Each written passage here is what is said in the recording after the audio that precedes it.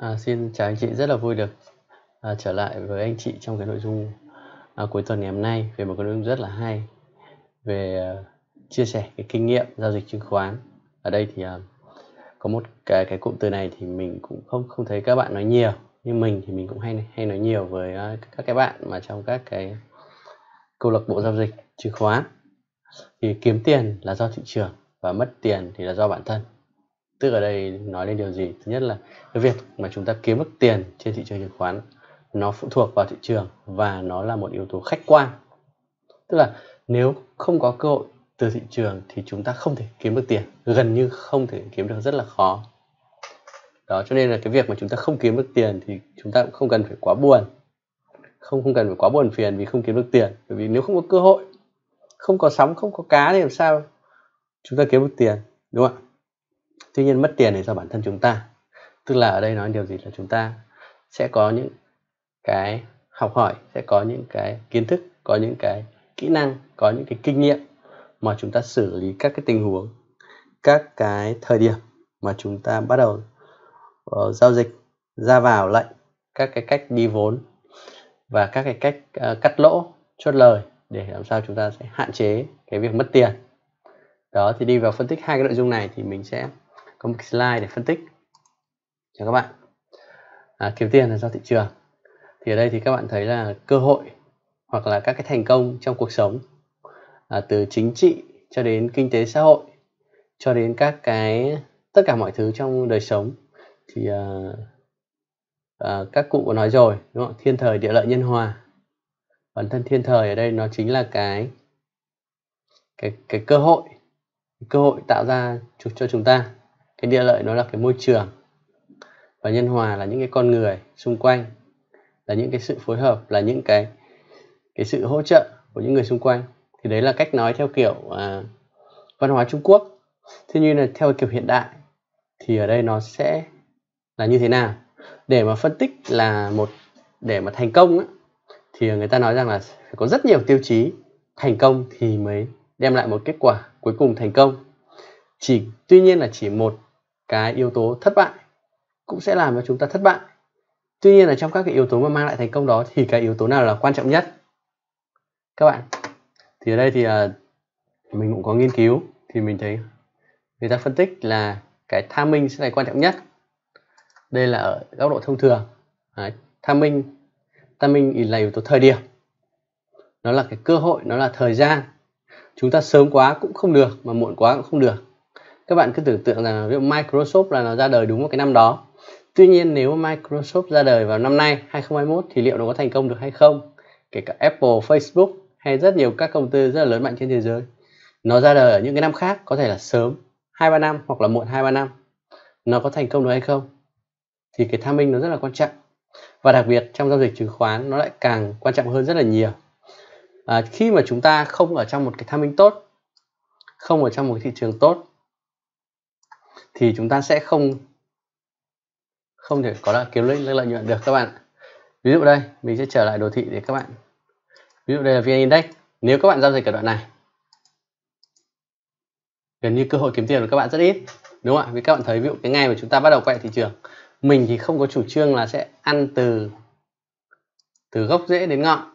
Thông thường mình sẽ bỏ cái khúc uh, gốc và khúc rễ chỉ ăn cái đoạn thân này thôi các bạn nhé. Thân lên đến ngọn thôi ví dụ đây là ngày chúng ta xác nhận. Và đây là ngày chúng ta ra khỏi thị trường. Đấy. Thì các bạn thấy là trong giai đoạn này vn index nó tăng được có 1,5% thôi. Vậy thì chúng ta thấy rằng là cái cơ hội kiếm tiền của chúng ta là lớn hay là nhỏ? Tất nhiên là nhỏ đúng không ạ? Bởi vì thị trường ở đây nó tăng cho chúng ta có 1,5% thôi.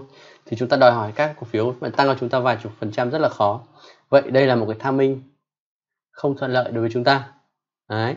Thì khi tham minh không thuận lợi thì các bạn cũng không cần phải buồn không cần phải buồn là bởi vì không kiếm tiền, bởi vì cơ hội chúng ta có đâu. Chúng ta sinh ra vào cái giai đoạn, chúng ta giao dịch vào cái giai đoạn mà cơ hội nó không không tốt, không hỗ trợ chúng ta, thì cái chuyện mà chúng ta không kiếm được tiền là chuyện bình thường. Nhưng ở đâu đó các bạn mất tiền ở trong này.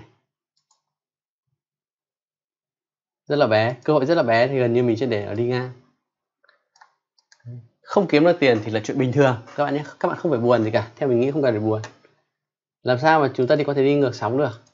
Nhưng mà mất tiền thì là là lát chúng ta sẽ nói cái vấn đề đấy. Đấy. Đấy, ví dụ các bạn, ở đây. Đây, đoạn này đáy, các bạn bỏ đi cho mình. Các bạn bắt đầu từ đây đi. Đến khi các bạn giao dịch, đến khi thủng MA20 mình thì thông thường giao dịch là cứ thị trường chung vào, ít nhất là MA20 thì mình sẽ vào. Hoặc là có thể vào sớm hơn khi mà có những cái phiên bùng nổ theo đà ở đây. Và mình sẽ ra ở những cái phiên khi mà thủng MA20 của thị trường. Các bạn nhìn thấy ví dụ đây là ra đấy ví dụ thế. Đơn giản nhất đi.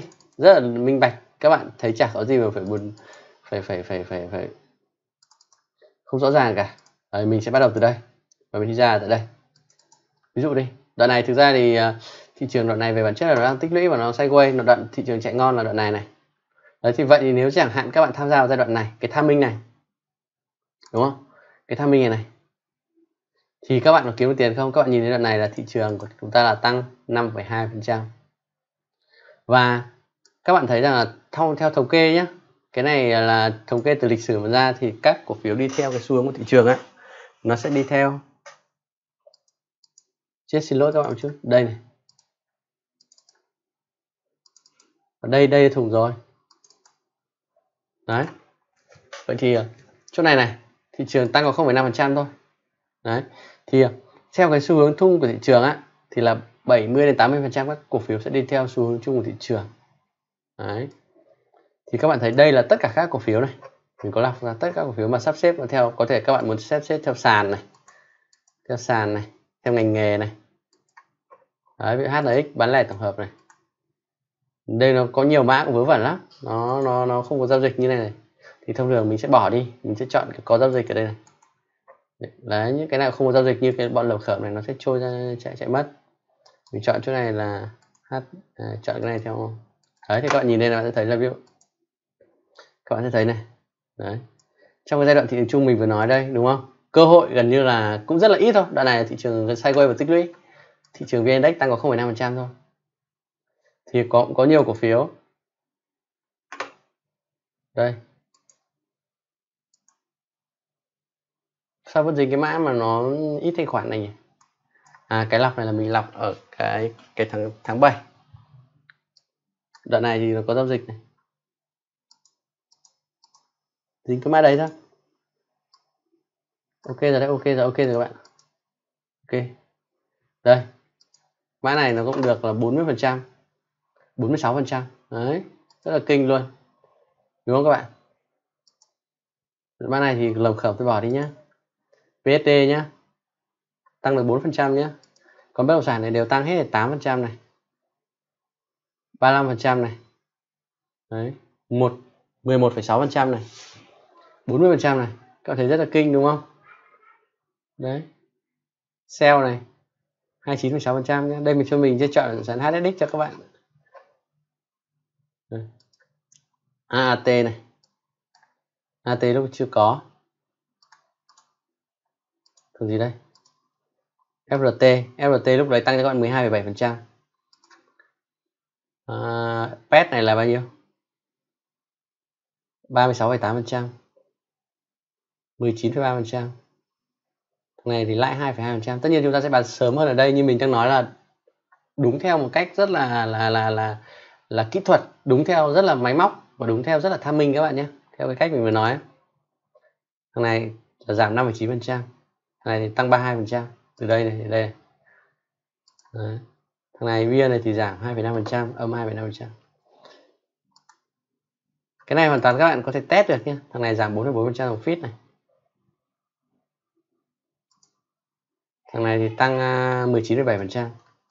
Mình chọn qua ngành khác các bạn xem nhé hỗ trợ kinh doanh. Thằng này thì uh, lỗ à lãi không một phần trăm à. đấy. Thằng này này thằng này lãi cho bạn 7,1 phần trăm này. Thằng này cho bạn lãi 9,1 phần trăm này. Điển hình chuyển qua ngành dịch vụ vận tải nhé thằng này lãi 21,4 phần trăm nhé 27,6 phần trăm nhé 7,8 phần trăm Đấy, dược phẩm này thì là lãi 1,1 phần trăm nhé đó đó là một giai đoạn tham minh các bạn nhé mình ví dụ thôi. Rồi còn đương nhiên là đoạn này thì không cần phải nói rồi. Đoạn này chúng ta đã làm rất nhiều lần rồi. Các bạn nếu mà các bạn chọn cái khúc này này ví dụ đây là thùng A20 coi như mình ra nhé. Thông thường nguyên tắc của mình là nếu đơn giản nhất, gọi là chả phải phán đoán gì cả, các bạn không phải diễn giải thị trường, không cần phải phải suy luận quá nhiều, không cần phải hao tâm tổn sức. Các bạn cứ thị trường chung vào lên MA20 chúng ta tham gia thị trường chung. Rời MA20 chúng ta tạm biệt. Trừ mã nào quá đẹp thì chúng ta giữ thôi, không có tạm biệt nhé. Các bạn các bạn mua từ đây. Phiên này nhé. Phiên này các bạn bán, phiên này thủng MA20 các bạn bán nhé chả cần phải phải phải phải, phải nghe nhiều clip chả cần phải xem nhiều các bạn chỉ cứ đơn giản là thị trường chung. À, trên MA20 giao dịch ra rơi MA10 tạm biệt. Đấy các bạn nhìn như này nhé thì thị trường chung chỗ này là tăng 91% mình cá là rất nhiều các cổ phiếu đã cho các lợi nhuận rất là lớn. Bạn nhé đấy. bất động sản này thì rơi này. Đấy thằng này thì âm 67 phần trăm 72 phần trăm nhé các bạn nhé là OGC này đây là mình ví dụ thôi. Đấy, thằng này là lãi lãi 62 phần trăm này. Thằng này là này lỗ 7 phần trăm. Ờ, này lỗ hai lỗ lỗ 8 phần trăm. Đoạn này sao bất động sản rơi ác đấy nhỉ? Chúng ta thử từ dòng khác. Ở đây là các cổ phiếu rất là hỗn độn các bạn nhé. Mình không sắp xếp theo thứ tự sức mạnh giống như các cái phân tích hàng ngày đâu. Đây là hỗn độn à, theo alphabet đấy. Thứ nhất là tên sàn này. Thứ hai là theo tên ngành nghề. Đấy cổ phiếu này thì có lãi này. 64 phần trăm này. Thằng à, fit này. Thằng này có lợi nhuận cho các bạn là 46 phần trăm này. Đấy. thằng này có lợi nhuận cho các bạn là âm 7 phần trăm này. Thằng này lãi 20,7 phần trăm này. Đấy, thằng này thì lỗ một chút. À thằng này thì uh, ngoài lỗ 0,5 phần trăm. Lãi 0,5 phần trăm. Các bạn có thể qua ngành khác nhé ví dụ ngành à, chứng khoán. Chứng khoán này. Chứng khoán thì lãi siêu lãi rồi. 97 phần trăm này. VDS 97 phần trăm này. Thằng à, là TVS là 38 phần trăm này. 76,5 phần trăm này. 34,3 phần trăm này. Đấy. Thằng VIX này thì lỗ này cổ phiếu xu xuống không tính ấy, đúng không? À, CTS này 63 phần trăm này. Đây này đấy. Đấy là ví dụ các bạn nhé thì ở đây thì ở đây câu chuyện là cũng không phải là mình mình mình muốn cho các bạn xem lại các cái lịch sử lợi nhuận như thế nào để khích lệ cái tinh thần uh, chiến đấu thị trường chứng khoán màu hồng của, của chúng ta. Ở đây thì mình không bao giờ nói chứng khoán là màu hồng nhé chứng khoán nó sẽ là nó sẽ là màu hồng với điều kiện là chúng ta sẽ hiểu nó hiểu cách giao dịch của nó và loại bỏ những cái cảm xúc về về về cờ bạc các cái cảm xúc về may mắn cảm xúc về may rủi nhé thì mình mình sẽ không tiếp cận hướng như thế. Tức là đây là các bạn thấy là tham minh là quan trọng nhất nếu chúng ta vào những cái giai đoạn mà thị trường chung đi lên này, này. Nhé tất cả cái khúc này nó đều là màu hồng nó nó đều là tham minh các bạn nhé. Như thế này là tham minh này. Mình chia cho này là hai cái hai khúc tham minh nhé à, chúng ta mình thì không thích theo kiểu suy diễn. Tức là nếu mà đến đây xong chúng ta phân tích là như thế này thì thế này thế này. Đương nhiên là có thể phân tích được hoàn toàn phân tích được, chứ không phải không phân tích được. Nhưng mà mình, ở đây chúng ta không nên cho nhau những cái hy vọng, các bạn nhé. Chúng ta cũng không cần phải đặt quá nhiều hy vọng vào những cái khúc như thế này. Bởi vì hy vọng ở đây mà chẳng may nó sai thì chúng ta thất vọng và tràn trề hơn. Cho nên nguyên lý của mình giống như vịnh xuân quyền á. Ok, ta chạm tay. Nếu thấy ta có thể tấn công được thì chúng ta sẽ tiếp tục để chúng ta tăng, gia tăng. Và thấy chúng ta không thể tấn công được thì chúng ta bắt buộc phải thả lỏng. Thả lỏng, các bạn nhé. Chúng ta sẽ không hy vọng như những cái đoạn như thế này, bản thân kể cả đây chấp nhận, các bạn đánh cho mình ba khúc, tham minh cho mình như này. Nhé chấp nhận là đánh đánh theo, đánh đánh đánh theo khúc. Bạn nhận đây. Các bạn đánh theo khúc cho mình như thế này. Chỗ này đánh theo khúc đi. Đấy. Các bạn đánh theo khúc hết cho mình nhé chỗ này thì không có cơ hội khúc nào cả. Gần như rất hiếm. Chỗ này thì nó không có một cái sự rõ ràng gì thì cũng, nếu mà các bạn coi đây là một khúc, thì có thể mua ở đây bán đây. Ví dụ thế như khúc này là khúc thất bại. Khúc này là khúc thất bại. Nó sẽ có ba dạng khúc. Khúc ngắn như này là khúc thất bại này. Khúc như này là khúc cũng là sideways, là cơ bản cũng huề này. Những cái khúc này là có lợi nhuận. Mình đánh các khúc này đều có lợi nhuận hết. Chọn các cổ phiếu mạnh đều có lợi nhuận hết. Rất là mạnh. Đương nhiên khúc dài này là thành tựu rõ nét rồi các bạn nhé. Đấy. Đây những cái chỗ lật sật này thì các bạn thấy là nó gần như là sideways chúng ta rất là khó để đánh nhé. đoạn này rất khó đánh. Gần như chỗ này sideways thì nó không phải là tham minh tốt các bạn nhé. À, đây nếu mà các bạn bắt đầu tham gia thị trường chứng khoán từ từ tháng 4 năm 2020 cho đến nay thì các bạn đều đang đều là một cái gọi là thiên thời thiên thời nhé. Nhưng nếu các bạn chơi chứng khoán từ cái thời điểm năm à, tháng 4 năm 2018 vậy thì các bạn ở cái thời điểm loạn lạc các bạn nhé thời điểm đấy tham minh rất hiếm. Các bạn các bạn chỉ có thể tham gia những khúc rất ngắn như này thôi. Hoặc đây có thể nói là một khúc. Hoặc đây là một khúc. Những khúc này thì có thể sẽ cho các bạn lợi nhuận. Những khúc dài dài khoảng hai ba tháng này có thể cho các bạn lợi nhuận. Nhưng mà gần như rất là khó, các bạn nhé. Rất là những cái khúc ngắn này. Những khúc ngắn này rất khó. Mình sẽ thử cho các bạn khúc này nhé các bạn tham gia ở đây. Các bạn bán ở đây đúng không? Thì là thị trường này là vn index là tăng 1,9 phần trăm. Thì các bạn nhìn này các cổ phiếu của các bạn này. Thằng này là âm 1,1 phần trăm này.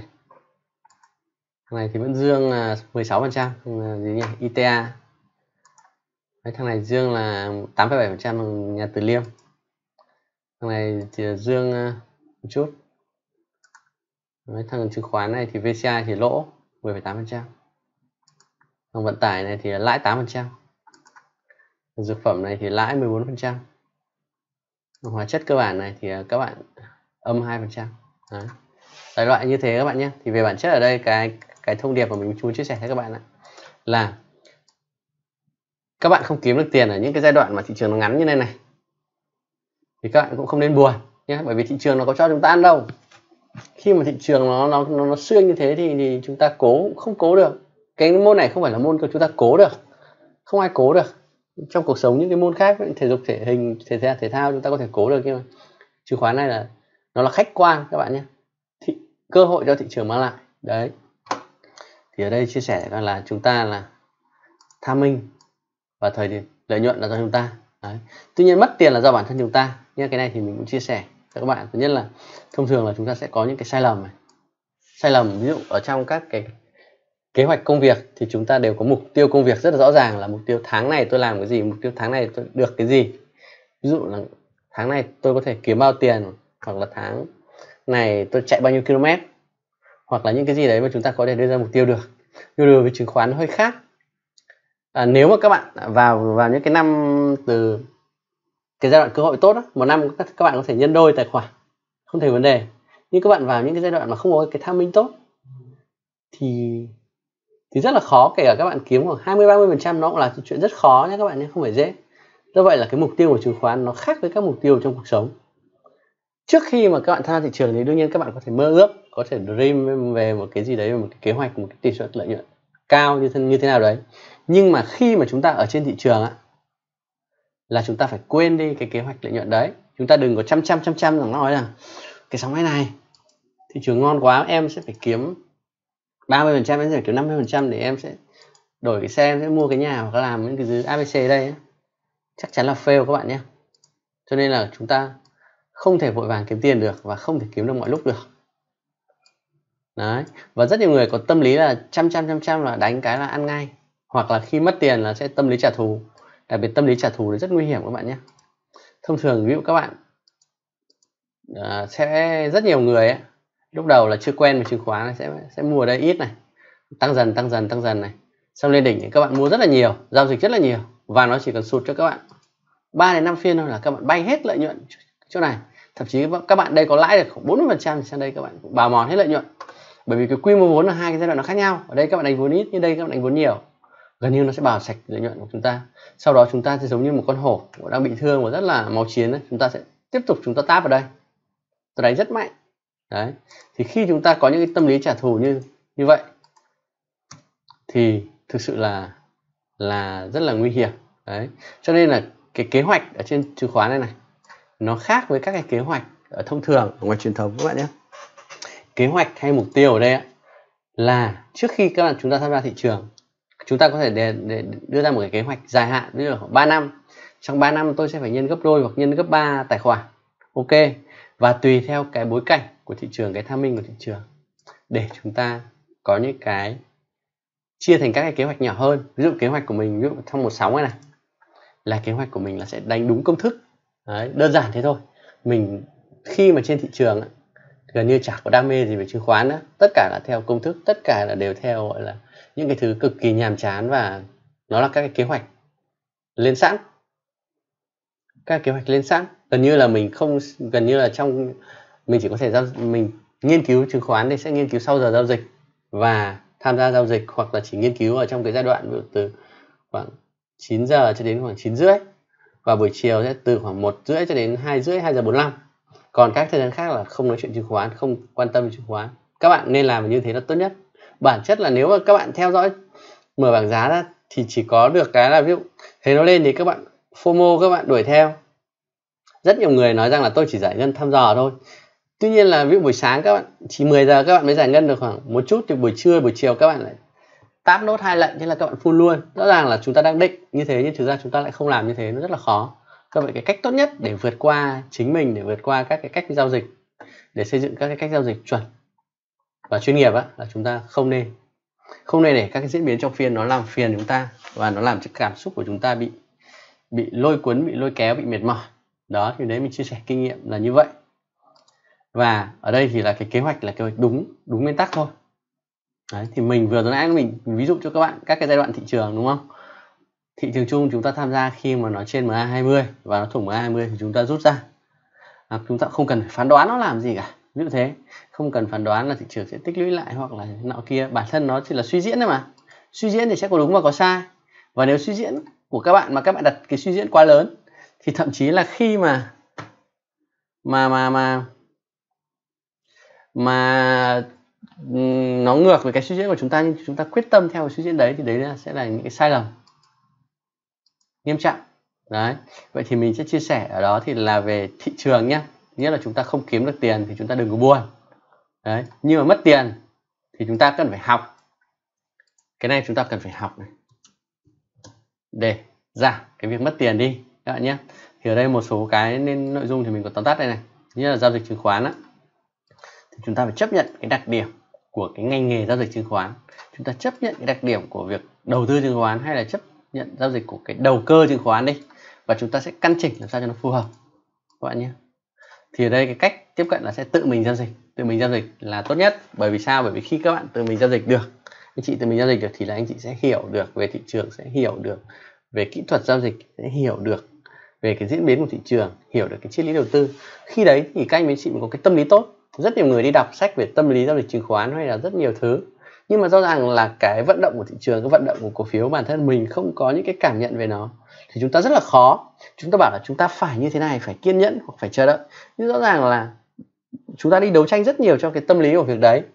Nhưng thực tế chúng ta lại không tưởng tượng ra là thị trường đang vận động ra sao cổ phiếu vận động ra sao. Thì chúng ta sẽ tự cái việc đấu tranh tâm lý rất là mệt mỏi. Thì chị nhân cho do vậy là cái việc tự mình giao dịch ở đây nó bao gồm cả việc về kiến thức kỹ năng. À, chúng ta phải kiên nhẫn chờ cái tham minh tốt. Và các anh chị giao dịch nên có cái nhật ký để chúng ta, khi có nhật ký thì chúng ta sẽ có những cái cơ sở để chúng ta mua bán này. Nó nó sẽ kìm hãm lại cái cái cái sự gọi là quán tính hoặc là cái cảm xúc của chúng ta này. Vì thứ hai là từ cái nhật ký đấy thì chúng ta, nay mai chúng ta sẽ dở à, chúng ta xem, chúng ta sẽ học lại và chúng ta sẽ nâng cao được cái khả năng giao dịch của mình. Đấy. khi mà các chúng ta trong cái tham minh tốt, thì cái cuối cùng đơn giản nhất là các bạn chỉ cần chọn dòng cổ phiếu thôi. Anh chị chọn dòng cổ phiếu thôi. Chọn các cái dòng cổ phiếu mạnh nhất, chọn các cổ phiếu mạnh nhất và chúng ta cũng chẳng cần mua từ gốc làm gì, chúng ta mua từ cái điểm mua phù hợp thôi. Đấy. Và cái cách đi vốn và giải ngân rất là quan trọng anh chị nhé. Đi vốn và giải ngân. Khi mà cổ phiếu ở dưới thấp thì chúng ta không mua mà cổ phiếu ở trên cao, chúng ta tăng vốn mạnh ở trên đấy thì chúng ta sẽ gặp sai lầm rất lớn. Hoặc là khi cổ phiếu nó phải gần nền thì chúng ta mua nó sẽ hợp lý nhưng mà nó nó trên ngọn cây thì rất là rủi ro. Hoặc là đang chạy nước rút mà chúng ta mua thì rất là rủi ro anh chị nhé. Đấy. Cho nên cái đấy rất quan trọng. Và nguyên tắc của mình á ví dụ đúng. Đây đúng thì sẽ cho chúng ta thành quả và sai thì chúng ta sẽ làm lại từ đầu. Tuy nhiên là chúng ta phải kiểm soát cái sai này, này. cái này là cái chúng ta phải kiểm soát. Kiểm soát. Kiểm soát là bằng cách chúng ta học chúng ta học từ sách vở học từ các cái phương pháp đầu tư và học từ chính bản thân mình. Khi mà đúng thì chúng ta sẽ phải có những cái lợi nhuận. Ví dụ từ 20 cho đến 40 phần trăm ví dụ 50 phần trăm hoàn toàn được. Nhưng mà sai, chúng ta phải kiểm soát cái sai chị nhé. Sai, chúng ta chỉ có từ khoảng 4 đến 7 phần trăm thôi. Là chúng ta phải phải chạy rồi. Khi mà chúng ta kiểm soát, gần giống như chúng ta thấy đúng, là chúng ta phải nằm im và gia tăng. Và sai thì chúng ta phải sửa. Đây là cái nguyên tắc mà mình vừa chia sẻ với các anh chị trong các cái clip về đánh giá thị trường hàng ngày anh chị nhé. Và cuối cùng là chúng ta vẫn phải có tâm lý dũng cảm rất nhiều người sau một hai cái cái tham minh ngắn ngắn này này. Giống như mình hay dùng cái từ vaccine trên thị trường chứng khoán á. Các anh chị thấy nhé cái đoạn này này. Gần như đoạn này nhé thị trường rơi mà không chết này rơi không chết này rơi không chết này thì kiểu gì nó lên. Đấy ví dụ này rơi này. Nếu chết thì là đương nhiên là là là, là rơi không nói gì nhưng mà rơi không chết lên rơi không chết lên thì kiểu gì sẽ có một sóng lớn ở đây. Đấy kiểu như vậy. Nó sẽ là một dạng vaccine. Khi mà nó nó dọa quá nhiều mà không rơi thì nó sẽ lên hoặc khi nó lên quá nhiều mà không sợ thì nó sẽ rơi. Đấy. và khi mà chúng ta có cái kịch bản giao dịch thì là chúng ta phải dũng cảm. Tránh là chúng ta có kịch bản nó nhưng chúng ta lại giao dịch nó vẫn trong cái tâm lý uh, rắn cắn một lần sợ dây thừng 3 năm năm hoặc là chúng ta vừa mới thất bại xong là ví dụ lần chúng ta đang xác định cái sai giao dịch của chúng ta là khoảng 2 tỷ ví dụ thế. Thế chúng ta lỗ kỳ này mất cứ 5 phần trăm 7 phần trăm rồi thế là mất 100 triệu thế là kỳ tới đáng nhẽ 2 tỷ bảo thôi cất đi giao dịch 1 tỷ thế là rõ ràng chúng ta hạ quy mô vốn của chúng ta xuống xong rồi cái lần 1 tỷ đấy chúng ta đúng chúng ta kiếm được tiền xong chúng ta lại nâng lên 2 tỷ hoặc 3 tỷ xong rồi lần 3 tỷ chúng ta lại lỗ mất 7 phần trăm Đấy, thì chúng ta lại bị âm thực ra thì cái việc mà chúng ta dũng cảm tự tin và xác định cái quy mô giao dịch thì rất quan trọng ngay từ đầu Đấy. phải loại bỏ những cái, cái cảm xúc sợ hãi đi bởi vì uh, sợ hãi và cảm xúc sẽ làm cho chúng ta lung lay và chúng ta sẽ không còn kiểm soát tốt các cái việc mà lựa chọn cổ phiếu các cái cách đi vốn và các cái việc xử lý lãi lỗ của chúng ta. Đấy. À, mình có đưa ra một cái cái cụm từ là lean trading. Ở trong startup nó có một cái lean startup tức là ừ, xây dựng đo lường học hỏi học tập kiểu thế. Lean ấy là à, trong trong tức là xây dựng này xong chúng ta ra sản phẩm này triển khai này xong chúng ta lại học tập này học tập chúng ta lại nâng à, lại ra sản phẩm này. Đấy thì giao dịch cũng vậy nhé anh chị nhé chúng ta giao dịch này. À, có đúng có sai và sai chúng ta học này. Học chúng ta lại giao dịch này. Chúng ta lại học chúng ta giao dịch. Đấy. Và khi ở trong những cái giai đoạn tham minh tốt thì chúng ta sẽ kiếm được tiền. Và những cái giai đoạn tham minh không tốt thì chúng ta sẽ kiểm soát được thua lỗ. Anh chị nhé bản chất ở đây là chúng ta là chỉ làm có hai việc thôi kiểm soát thua lỗ. Nhưng cái này gọi là gì?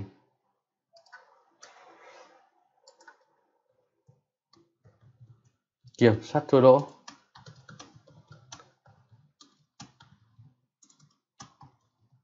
Chờ cơ hội thị trường, anh chị nhé.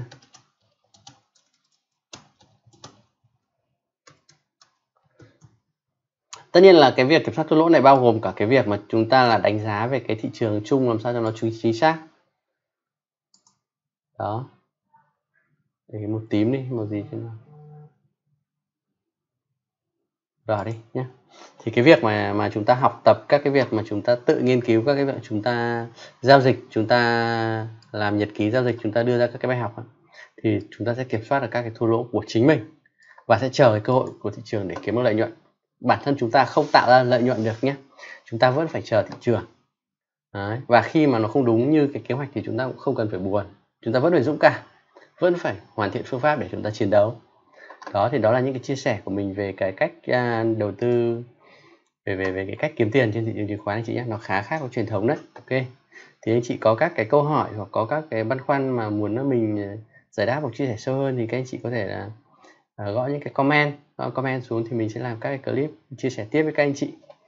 Uh, các anh chị thấy uh, nội các cái nội dung hữu ích thì các anh chị uh, chia sẻ cho bạn bè và những người quan tâm à, các anh chị subscribe kênh để nhận các thông tin mới nhất từ kênh. Cảm ơn các anh chị.